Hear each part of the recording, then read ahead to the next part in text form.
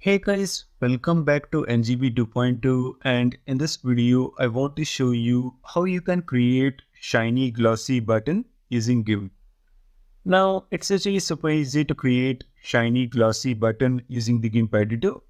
So without further delay, let's get started and see how you can do this. Now to demonstrate this, first I would like to create a new image with a white background. So to do that, go to File and then click on New. Let the width and height of my new image be 1280 and 720. And inside Advanced Options, select the option White inside Fill with and now click on OK.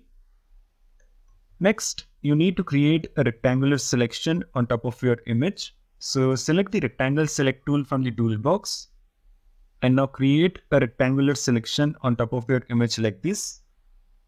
Next, you need to round the corners of your rectangle. So to do that, you need to first select the rounded corners option which is present inside the rectangle select settings. And now increase the radius to somewhere around, let's say, let's say 72. Next, you need to go to the select menu and click on this option that is save to channel. Perfect. Now, what you need to do next is you need to create a new transparent layer on top of your background layer. So create a new transparent layer and now fill the rectangular selection with the color black. So first let me set the color black in my background color and now go to edit and click on fill with background color. Next, create a new transparent layer on top of the layer which you had just created. So let me create a new transparent layer. And now what you need to do is you need to go to the select menu once again and then click on this option that is feather. Now feather the selection by somewhere around let's say 250 pixels and now click on OK. And now what you need to do is you need to actually fill this particular selection with the color green. So let me set the color green in my background color. And now let me go to edit and select fill with background color. Perfect. Now go to the channels tab and select this layer that is selection mask copy. And now click on this option which says replace the selection with this channel. Alright, let's go back to our layers tab and select the layer which is present right at the top. Now go to the select menu and click on this option that is invert. Now simply press delete on the keyboard and once again go to the select menu and click on invert. Now, what you need to do next is you need to create a new transparent layer on top of the layer which you had just created. So let me create a new transparent layer. And now we will use the ellipse select tool to create a new type of selection, merging the existing rectangular selection with our ellipse selection.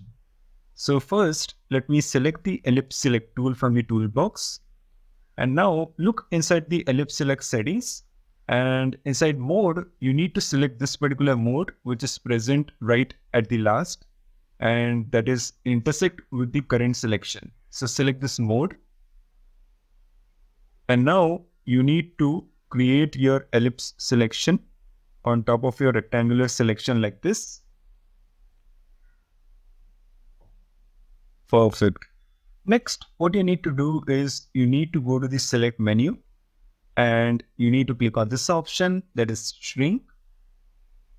Now shrink the selection by 3 pixels and now click on OK.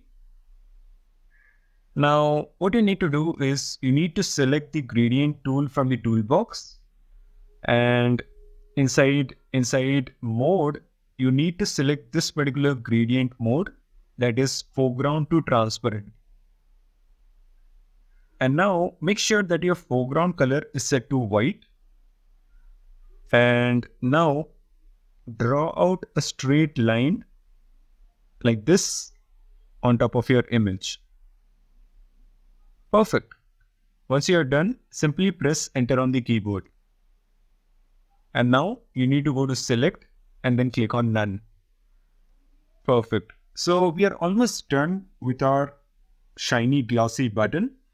Now what we need to do next is we need to write some text on top of our button. So let me just select the text tool from the toolbox and let me create a text box on top of my button like this.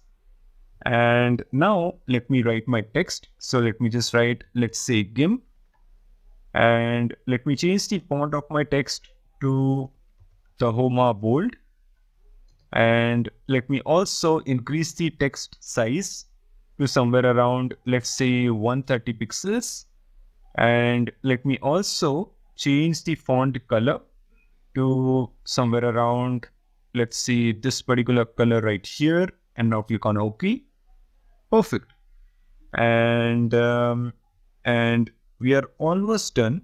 We are almost done. I would like to center align my text. So let me just center align my text right about here. And now let me just do one final thing and that is I would like this particular layer, which is the second layer to be present right at the top. So select the second layer and then click on this option that is raise this layer one step in the layer stack. And that's it. So this is how you can actually create a shiny glossy button using GIMP. Do let me know your thoughts in the comment section below. Like the video and subscribe to my YouTube channel. I will again see you in the next video. Till then, thanks for watching.